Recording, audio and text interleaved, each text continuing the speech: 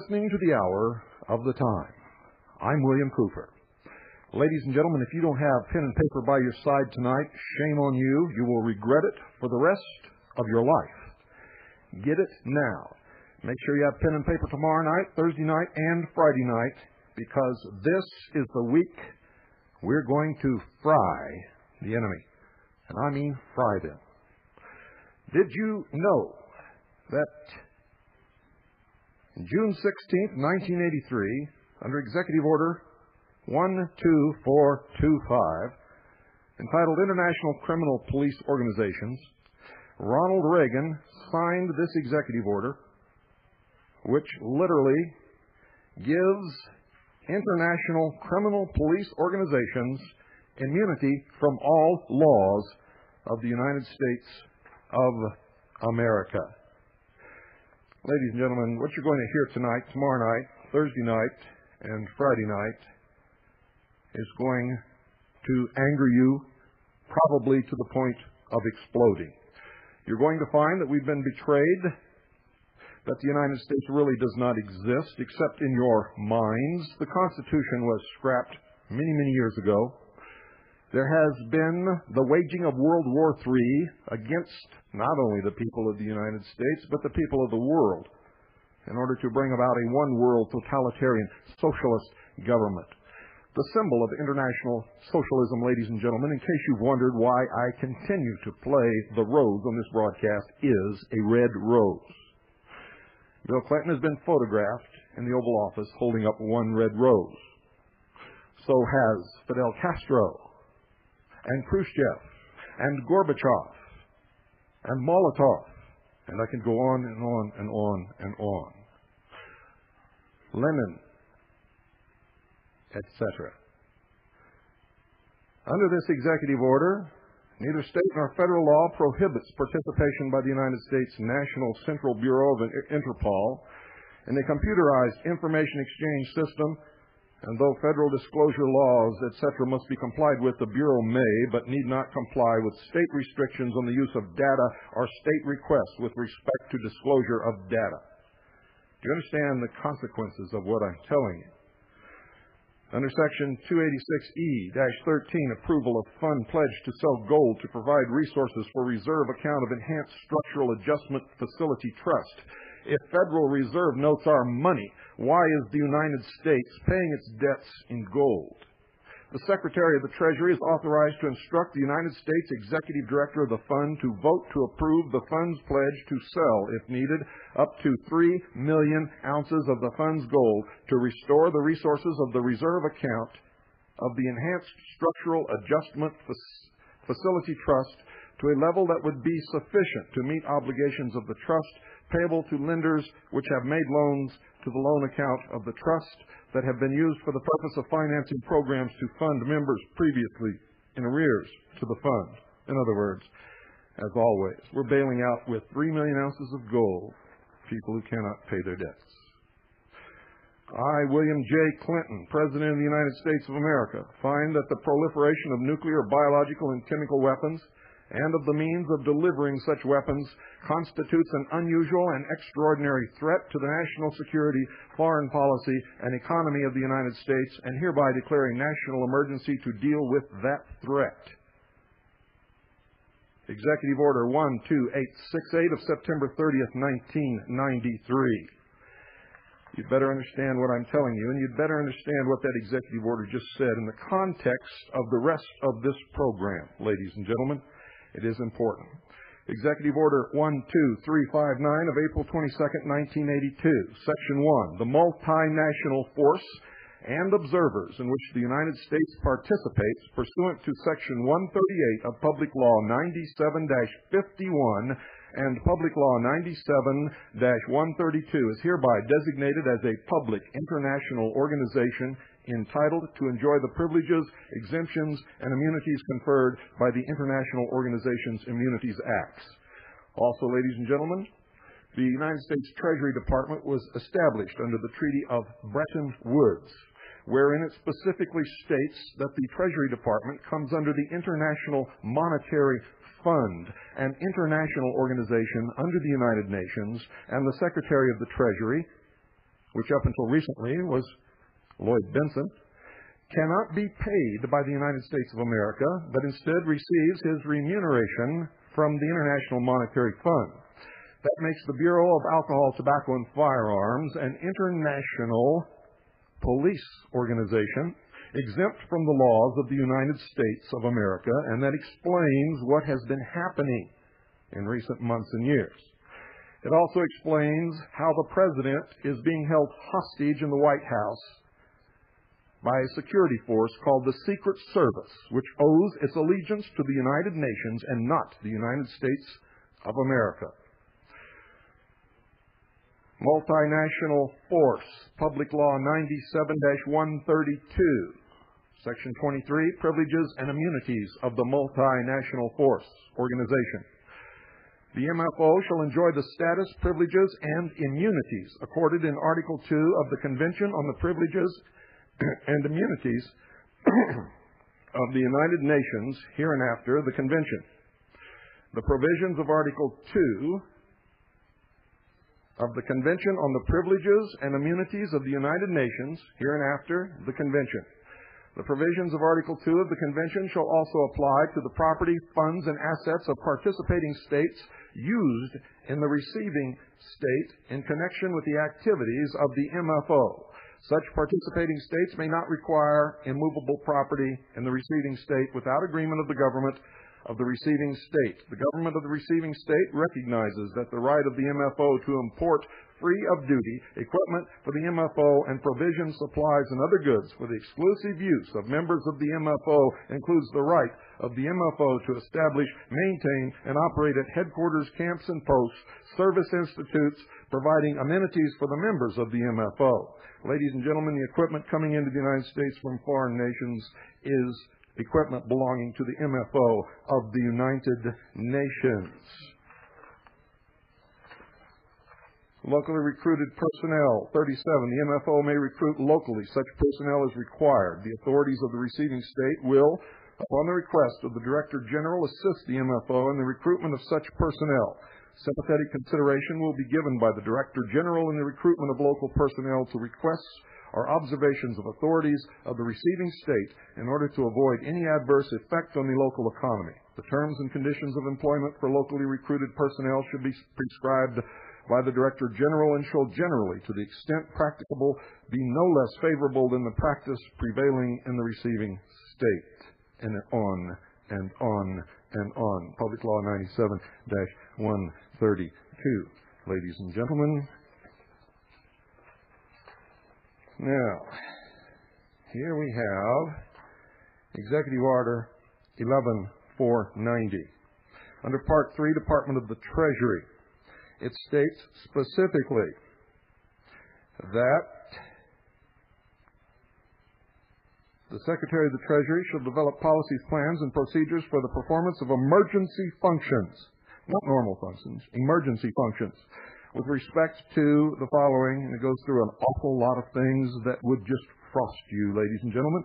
But number 12, maintenance of the central government accounting and financial reporting system, administration of customs laws, tax laws, and laws on control of alcohol, alcoholic beverages, tobacco, and firearms, suppression of counterfeiting and forgery of government security stamps, coins, and currency, protection of the president and the vice president and other designated persons, etc etc., etc. Now, don't go away, because what you're going to hear tonight is probably some of the most important information you'll ever hear in your life. That goes doubly for tomorrow night, triply for Thursday night, and quadruply for Friday.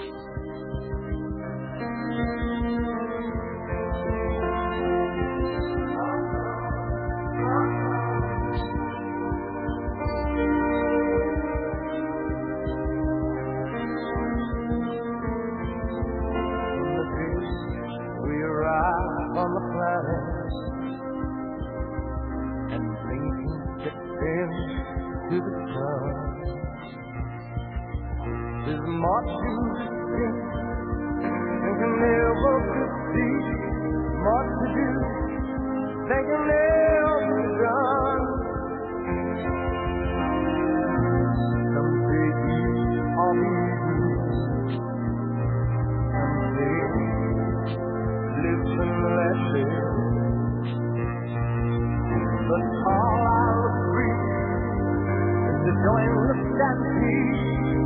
She never take more than me.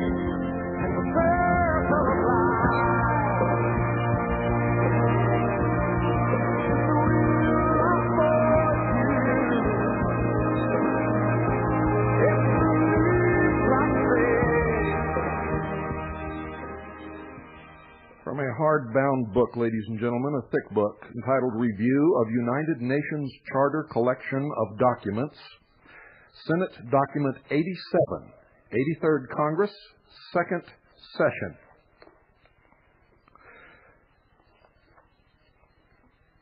On uh, page 461, paragraph 99, Disclosure and Verification of Armed Forces and Armaments, United States Proposal in the Disarmament Commission, April 5th, 19 and 52. That's 1952. The General Assembly resolution calling for regulation, limitation, and balanced reduction of all armed forces and armaments directs that the Commission be guided by a number of principles, including the following. Operative paragraph 3A. In a system of guaranteed disarmament, there must be progressive disclosure and verification on a continuing basis of all armed forces, including paramilitary, security, and police forces, and all armaments, including atomic. Such verification must be based on effective international inspection to ensure the adequacy and accuracy of the information disclosed. This inspection be carried out in accordance with the decisions of the International Control Organ to be established. It's in effect, we have Russian observers on United States soil supervising the disarmament of the United States of America as of this moment, and they've been here for a long time. Remember last night you heard that according to a newspaper article in the Cleveland Plain Dealer, United States atomic submarine commanding officers were ordered by the President to turn in their launch keys. On page 462, under A, extent of disclosure and verification, paragraph 2. The disclosure must cover all armed forces of every kind, including paramilitary, security, and police forces, and all armaments, including atomic. Three, the verification of armed forces and armaments must likewise cover all armed forces of every kind, including paramilitary, security, and police forces, and all armaments, including atomic.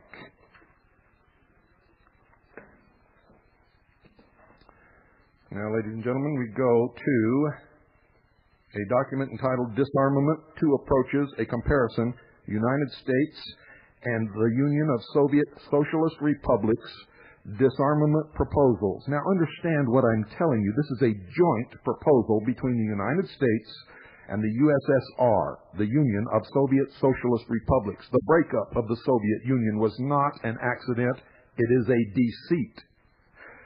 This was published by the United States Arms Control and Disarmament Agency November 1961, ladies and gentlemen.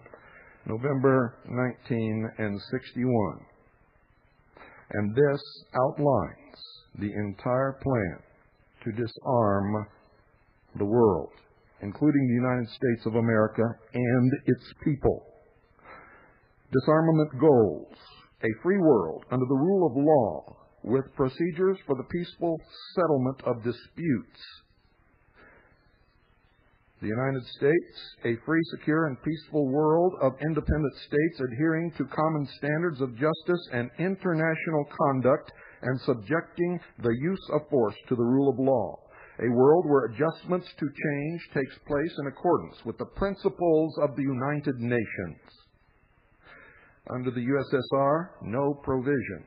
After general and complete disarmament has been achieved, measures to be put into effect for preserving peace and security in accordance with the United Nations Charter. In other words, the Union of Soviet Socialist Republics agreed only to agree once disarmament has occurred. We are disarming, they are not. Under general and complete disarmament, under United States, a world where there shall be a permanent state of general and complete disarmament under effective international control. Under the USSR, general and complete disarmament under strict and effective international controls. Note, in elaborating on this goal, the Soviets reject control of agreed levels of armaments at any stage except after general and complete disarmament has been obtained. Better use of resources, a world where the resources of nations shall be devoted to man's material, cultural, and spiritual advance. That's the United States goal. Under the USSR, part of funds released from expenditure on armaments is to be used for economic assistance to underdeveloped countries. You wonder what's happening? This explains it all, ladies and gentlemen, and tomorrow night we will continue and elaborate, and the night after and the night after that. You see, last night's parade of apologists and wimps crying because somebody's going to come after them was pathetic. You see, they've been after us for a long, long time. You need to find your cojones and get ready to fight if you understand what I mean. If you don't, you better hide in the closet because the blood is going to run in the streets of America, and it's not far off, ladies and gentlemen. Just remember, we can do nothing. Nothing. They must do it first. United States statutes at large containing the laws and concurrent resolutions enacted during the first session of the 87th Congress of the United States of America. Treason. 1961 and reorganization plans, amendment to the Constitution and proclamations. Treason is not part of this title. That's my interjection. Volume 75 in one part. Now, if I'm going too fast to write this down, order the tape, and you better order it quick. United States Government Printing Office, Washington, 1961. Public Law 87-297, September 26, 1961, to establish a United States Arms Control and Disarmament Agency. Be it enacted by the Senate and House of Representatives of the United States of America in Congress assembled, Title I, short title, Purpose and Definitions, Section 1, this act may be cited as the Arms Control and Disarmament Act. Lays it all out, ladies and gentlemen, establishes the agency that is to supervise the disarmament of the United States, overseen and inspected by appointed officers of the Soviet Union. United States Arms Control and Disarmament Agency organization and functions. And ladies and gentlemen, this is dated October 17, 1961. Disarmament Document Series, United States Arms Control and Disarmament Agency. Resolution adopted by an 87 to 11 vote in the United Nations General Assembly regarding Soviet 50 megaton bomb number 1632 16 1043 plenary meeting October 27, 1961. The General Assembly, seized with the question of halting nuclear weapons tests, solemnly appeals to the government of the Union of Soviet Socialist Republics to refrain from carrying out its intention to explode in the atmosphere a 50 megaton bomb before the end of this month. That was the scare tactic. The result was a White House statement of October 30th, 1961, calling for world disarmament by the President of the United States. He says, We have no wish ever to use this military power. We are ready now as ever to sign the test ban treaty proposed at Geneva. We are ready now as ever to negotiate a treaty for general and complete disarmament. You see, they have been conducting this in the open in the documentation, but behind closed doors to the public. Disarmament Document Series, United States Arms Control and Disarmament Agency, report to the United Nations Disarmament Commission on the 18 Nation Disarmament Committee's deliberations from the beginning of the conference, March 14, 1962 to June 1, 1962 the co-chairman of the conference of the 18-nation Committee on Disarmament, at the request of that conference, transmit herewith to the United Nations Disarmament Commission, pursuant to General Assembly Resolution 172216, the following interim progress report on the conference deliberations for the period March 14, 1962 to June 1, 1962. It outlines the participants. It outlines the agreements. It outlines the plenary deliberations. It tells the deliberations and the decisions of the committee of the whole, the informal meeting reports, the subcommittee on a treaty for the discontinuance of nuclear weapons tests and the disarmament of the nations of the world. And then there are conference documents listed. Then Disarmament Document Series, United States Arms Control and Disarmament Agency, text of presidential statement after, after signing into law the bill, Public Law 87-297, 87th Congress, establishing a United States Arms Control and Disarmament Agency, September 26, 1961. With the signing of H.R. 9118, there is created the United States Arms Control and Disarmament Agency. This act symbolizes the importance the United States places on arms control and disarmament in its foreign policy, the creation for the first time by an act of Congress of a special organization to deal with arms control and disarmament matters emphasizes the high priority that attaches to our efforts in this direction treason. Our ultimate goal, as the Act points out, is a world free from war and free from the dangers and burdens of armaments, in which the use of force is subordinated to the rule of law and which international adjustments to a changed world are achieved peacefully. It is a complex and difficult task to reconcile through negotiating the many security interests of all nations to achieve disarmament but the existence of this agency will provide new and better tools for this effort. I am pleased by the bipartisan support this bill enjoyed in the Congress. The leaders of both political parties have encouraged, gave encouragement and assistance.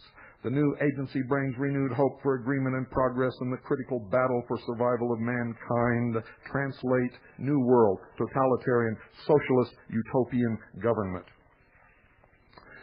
The next one, disarmament, two approaches, a comparison. U.S. and USSR disarmament proposals, United States Armed Control and Disarmament Agency, dated November 19 and 61. Ladies and gentlemen, the United States calls on all states to make a continuous, uninterrupted effort to achieve a total program for general and complete disarmament. Do you understand? USSR, although it has put forward certain proposals apart from its disarmament plan to ease international tensions and create a favorable climate for disarmament, the USSR takes the position insofar as disarmament measures are concerned that there must be full agreement on all aspects of general and complete disarmament before implementing a single measure. We are disarming, they are not. And it goes on into the goals that I've already communicated to you. Disarmament, the continuing search by William C. Foster, Director, United States Arms Control and Disarmament Agency. Disarmament, the continuing search. Perhaps as you reflect on the news these days, you feel that it is not comfortable to be an inhabitant of this planet. But of course, except for brief periods in history, it never has been comfortable, and great for great numbers of people, Annihilation by club, arrow, spear, sword, bullet, or what have you has been a constant threat at one place or another on this relatively small globe. Ladies and gentlemen, it is the United States government and the government of the United Kingdom at the end of World War II that promoted and continues to promote the Holocaust by the Germans in order to instill in the consciousness of the people of the world that disarmament must take place.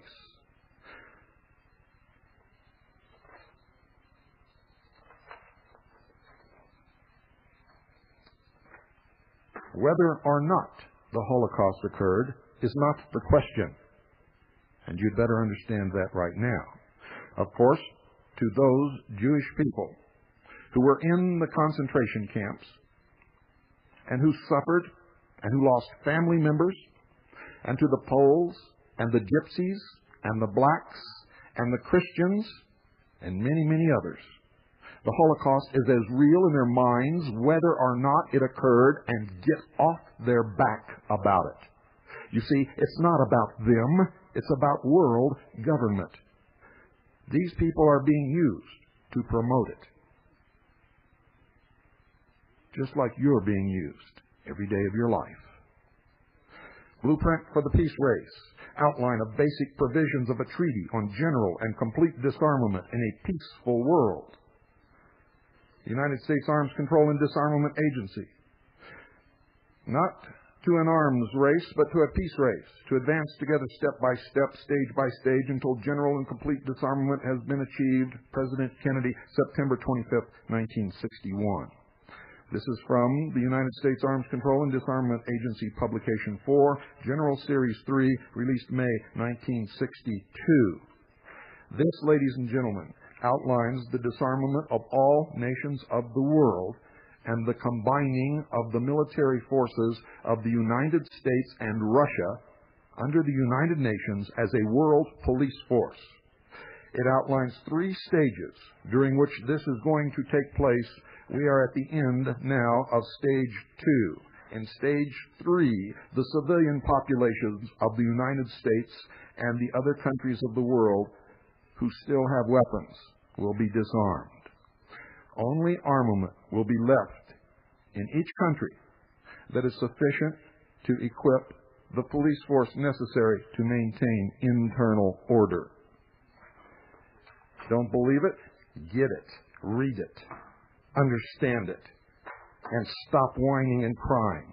Join a militia and get ready to fight for your freedoms or get in the closet and hide until they come and put the chains on you. because democracy is a code word for socialism. And that's what's coming. Disarmament, the new. Disarmament, the new. United States Initiative, United States Arms Control and Disarmament Agency, Publication 8, General Series 5, released September 1962. And this, again, as an introduction, the call for leadership by John J. McCloy, who at that time was the leader or executive director of the Council on Foreign Relations, who outlines the disarmament of the world led by the United States and the Soviet Union, talks about the complexities of disarmament, the Geneva test ban negotiations, the United States' determination to halt the arms race, the disarmament agency, the common market, working toward a world without war and a new world order, history of disarmament negotiations, U.S. proposal for disarmament, need for adequate verification, question of the proper forum, improving United Nations peacekeeping machinery, describing the forces that will be combined by the two major powers to police the world, taking the first steps, United States outlines initial proposals of program for general and complete disarmament by Dean Rusk. Disarmament a worldwide responsibility. Laying basis for disarmament. U.S. proposals for work of conference. Call for early action on testing, etc., etc., etc., etc., etc. The dilemma. The dilemma. How to do it. He says, I appreciate that I am here before a sophisticated audience today. Most of you have read the reports that one Polaris submarine carries more explosive power than all the bombs dropped by both sides during World War II, including the two atomic bombs. Scare statements. You have to understand that the Cold War was a scam to bring this about and the Soviet Union has recently released publicly the documents which prove that all during the Cold War, their bombers never once carried an atomic weapon. It was a scare tactic to bring this about and fund the development of technology through the willing giving of tax dollars in the face of a Cold War enemy by the American people and the people of the world to develop the technology to control the people of the world under the New World Order. Toward a world without war, a summary of United States disarmament efforts past and present. United States Arms Control and Disarmament Agency, General Series 6. This is Publication 10, General Series 6, released October 1962. World Order will be secured only when the whole world has laid down these weapons which seem to offer us present security but threaten the future survival of the human race. President John F. Kennedy said that in his State of the Union message, January the 11th, 1962, the whole time knowing that there was no threat.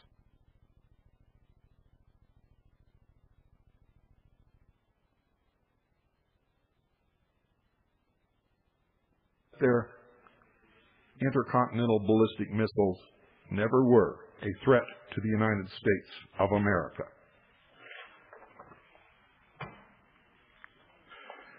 The American Journal of International Law, Volume 56, 1962, published by the American Society of International Law, Publication Office, Lancaster Press, Incorporated, Lancaster, Pennsylvania. Executive and Editorial Office, 2223 Massachusetts Avenue, Northwest, Washington 8, D.C. Copyright 1962. This is the American Journal of International Law, ladies and gentlemen. And in here, it outlines the official documents disarmament, outline of basic provisions of a treaty on general and complete disarmament in a peaceful world, submitted by the United States delegation to the United Nations Committee on Disarmament, Geneva, April 18, 1962, in which it outlines everything that I have already discussed in an official treaty, ladies and gentlemen, which was signed and which was ratified by the Senate calling for the complete disarmament of all weapons of all nations. Progressive inspection for disarmament, the concept of progressive zonal inspection. United States Arms Control and Disarmament Agency, Publication 13, released January 1963. This proposes the zonal concept. The extent of inspection is related to amount of disarmament amount of assurance is related to degree of risk to parties to the treaty. Principles of disarmament treaty outline. By stages within specified limits. Number two, balanced. No party can gain a military advantage. No party can suffer a loss of security. Three, verified during and after it occurs. The extent of verification is to be related to the amount of disarmament and the degree of risks involved, verification of both arms reduction and arms level. Four, accompanied by progressive strengthening of the United Nations. Accompanied by progressive strengthening of the United Nations. Five, carried out in each successive stage after the decision that all measures in preceding stage will have been accomplished and verified. All arrangements for the next stage are ready to operate. Objects and activities to be verified during disarmament. One, destruction of armaments. Two, conversion of armaments to peaceful uses. Three, reduction of armed forces. Four, halting or limiting of declared production, testing, and other specified activities. Five, agreed levels of armaments and armed forces. Six, absence of undeclared production, testing, and other specified activities which are subject to termination or limitation.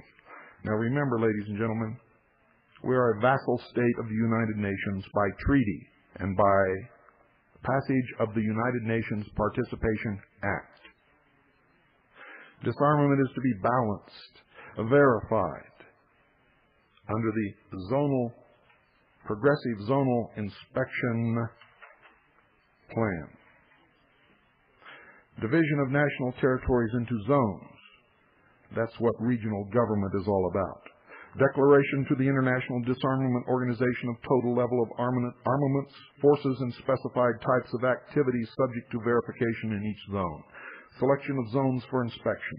Declaration to the International Disarmament Organization of the exact locations of armaments, forces, and specified types of activities which are within the zone or zones selected for inspection in that step arrangements to assure against undeclared movements of the objects of verification, aerial and mobile ground inspection of objects of verification within the zone selected. Seven, once a zone has been selected and inspected, it remains open for further inspection while verification is being extended to additional zones. 8. When the first zones have been inspected in accordance with an agreed time schedule, arms levels would again be declared as in 2. Then the next zone or zones would be selected and inspected as in 4 through 7 and so on. By the end of the final stage, when all disarmament measures have been completed, inspection will have been extended to all zones in the territories of the parties to the treaty. Disarmament is to be carried out within definite time limits by stages, and each stage is divided into three steps. Selection of zones may be 1. by the International Disarmament Organization, 2. by the non-host Western or Soviet bloc, 3. by random choice, or some combination of the above. The breakup of the Soviet Union occurred, ladies and gentlemen, to fool the American people into accepting disarmament, not understanding what this is all about. You see, these people who run the world understand sheeple better than you would ever believe. And you'd better quit being sheeple right this moment. You'd better pull the wool out from over your eyes. Take off that fur coat. Stand up on your own two feet. Stop buying. Join a militia. Get ready to fight for your freedoms or lose them all very shortly. Get a book entitled Disarmament Proposals. Published in 1964, the author is Sohn, S-O-H-N, Disarmament Proposals 1964, Sohn, S-O-H-N, outlines the entire plan, including the disarmament of the individual American common people. Arms Control and National Security, second edition. United States Arms Control and Disarmament Agency, Washington, D.C. 20451. And folks, my throat is dry. I must take a short break. Don't go away.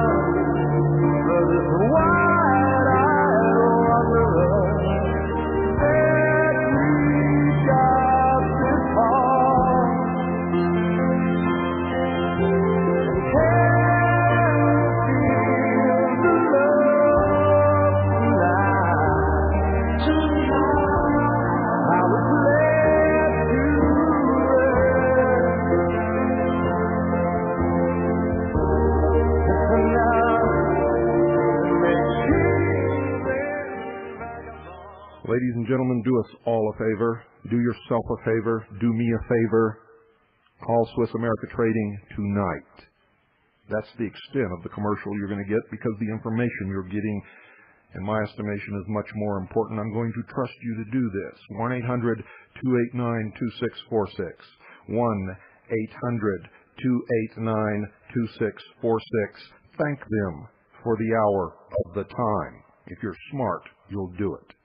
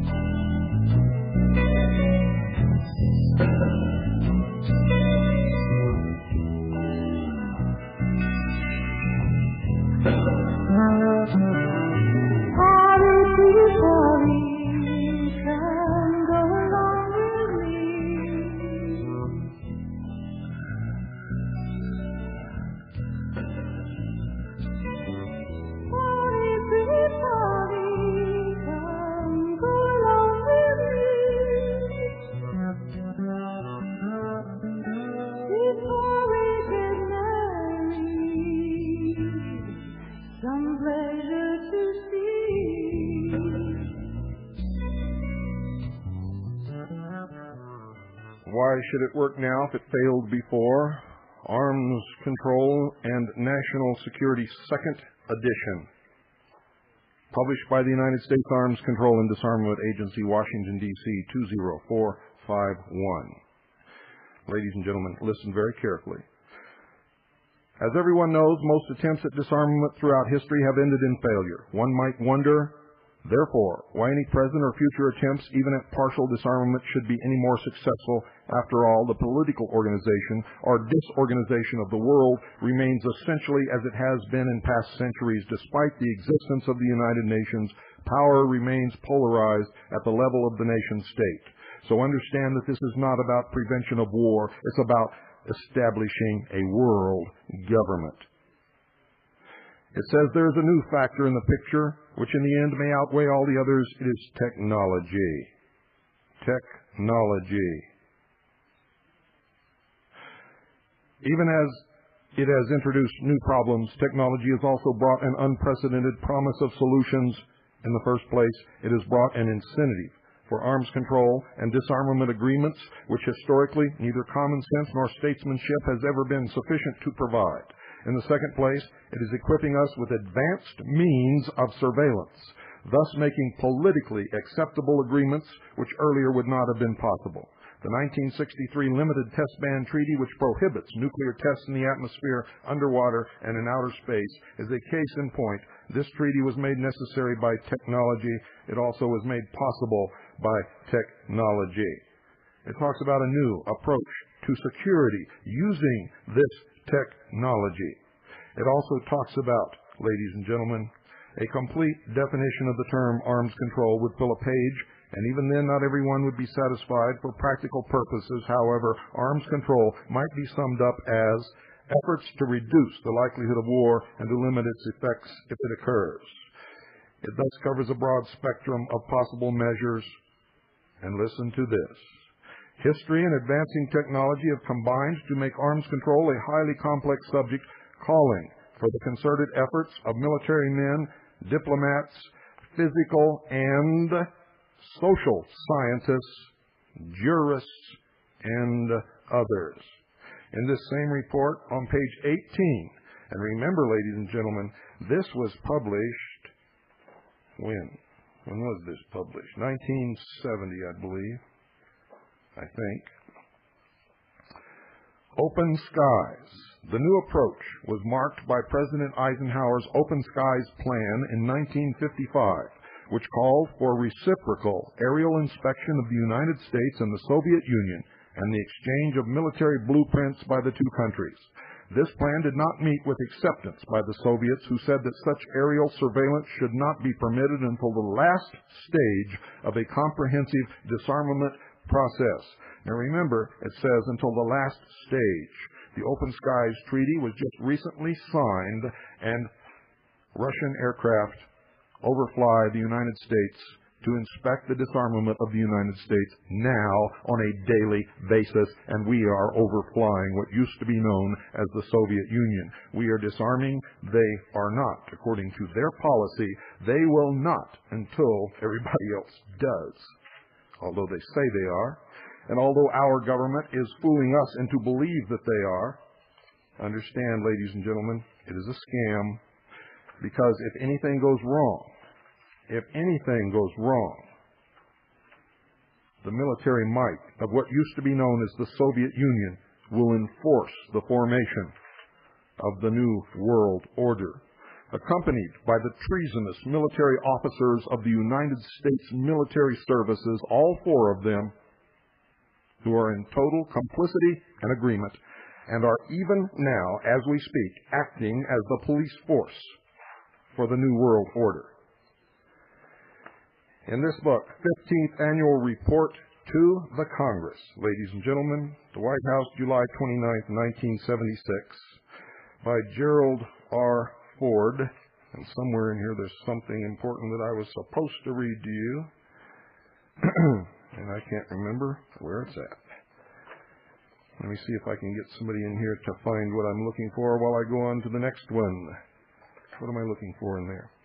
Yearbook of the United Nations, 1978, Volume 32, Department of Public Information, United Nations New York. Disarmament and related matters. Chapter 1 down at the third paragraph. The conference of the Committee on Disarmament held two sessions in Geneva during the year at which it continued its discussions of measures relating to the cessation of the nuclear arms race at any early date and to nuclear disarmament, non-nuclear measures, and other collateral measures, general and complete disarmament, and the organization of its work at its first 1978 session prepared a special report on the state of the various questions under its consideration and submitted it to the special session of the Assembly. Under the heading The 10th Special Session of the General Assembly, the 10th Special Session of the General Assembly, the first session to be devoted to disarmament, opened on 23 May 1978 at the United Nations headquarters, New York. The Assembly concluded its work in the early hours of 1 July.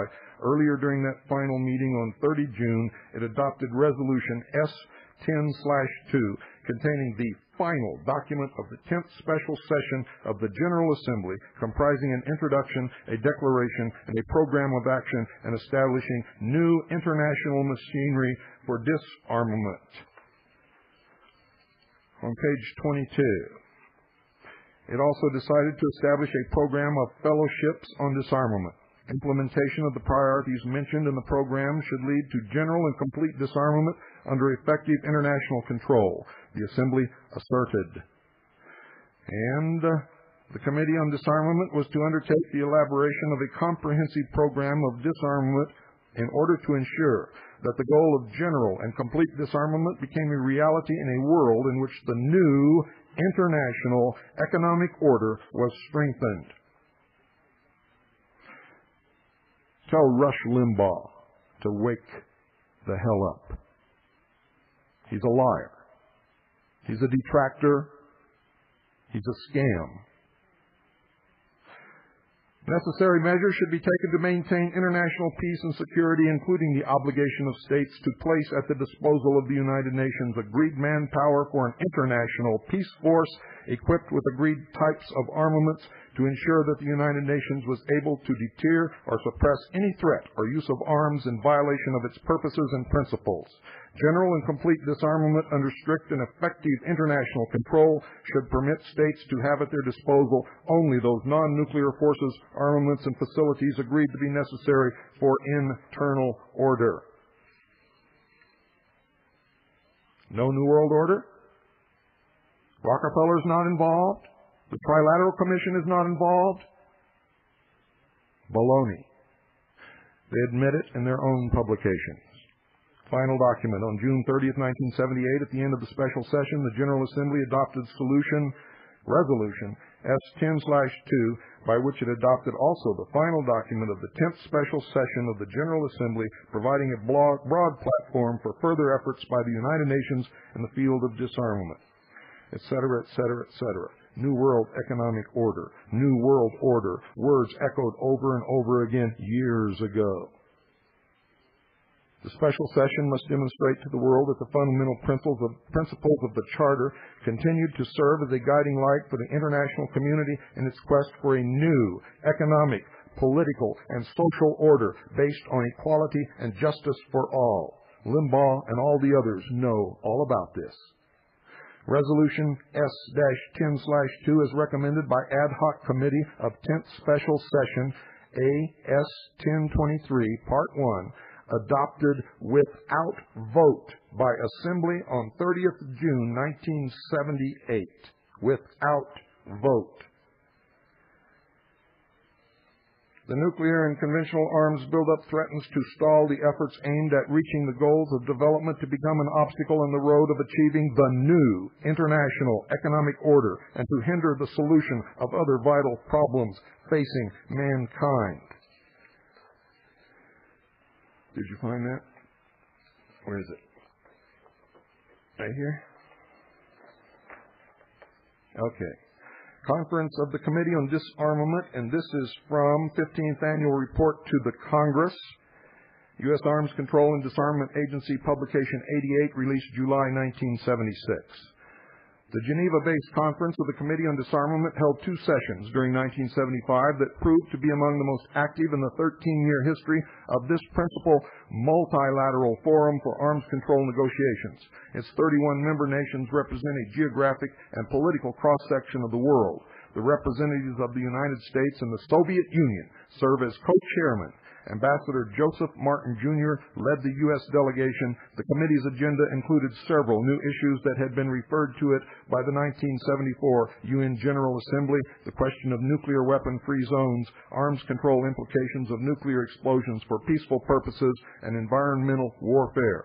In addition to the topic of chemical weapons restraints and a comprehensive nuclear test ban, and under environmental warfare, listen to this, the highlight of the sessions was the August 21st tabling by the United States and Soviet representatives of identical texts of a draft. Listen to this. Identical texts of a draft entitled Convention on the Prohibition of Military or Any Other Hostile Use of Environmental Modification Techniques.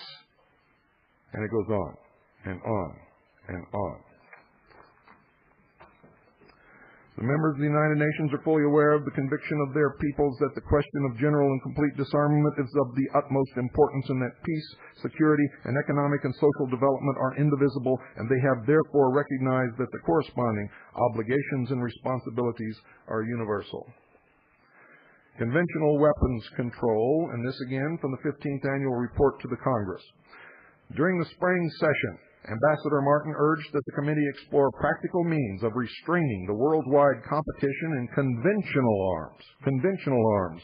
That means your rifle in addition to reiterating United States' willingness to assist in the establishment of conventional arms control arrangements on a regional basis, Ambassador Martin set forth for the committee's consideration principles applicable worldwide to the acquisition and transfer of conventional arms. These principles are discussed in greater detail in the chapter on arms transfers. That program, passing through all the necessary stages, should lead to general and complete disarmament under effective international control. Notice, folks, it does not say partial disarmament. It does not say disarmament of military forces. And remember, in an early publication, it even included the police. It says complete disarmament. Complete disarmament. Genuine and lasting peace can only be created through the effective implementation of the security system provided by the Charter of the United Nations and the speedy and substantial reduction of arms and armed forces by international agreement and mutual example, leading ultimately to general and complete disarmament under effective international control. That's why bases are closing, but not closing. They're closing, but not closing. They were said to close to save money, and then they don't close and spend money to establish those bases as prisons, and mental treatment centers to treat, ladies and gentlemen, patriots under the New World Order who will be considered to be primitives. Klingons, if you will, Klingons, who refuse to adapt to the new world socialist order. They will be called mentally ill. On page 45, under the Yearbook of the United Nations 1978. It talks about, where is it? The study should be made in the context of how disarmament can contribute to the establishment of the new international economic order. No new world order, no new world economic order, no plot, no complicity of the Council on Foreign Relations, the Trilateral Commission, the members of Congress, the members of the executive branch of government. Anyone who tells you that is a liar. They are part of the problem. They are part of the enemy. They are leading you down the garden path. Remember, the symbol of international socialism is the red rose. It was the symbol of the rose and cross, which came out of the ancient mysteries which were suppressed. Suppressed between the cold north wind.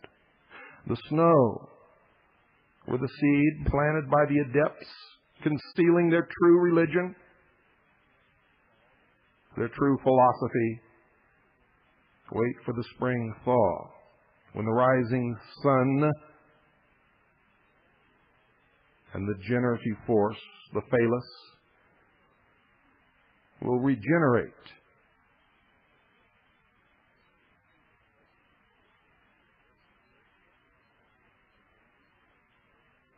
the old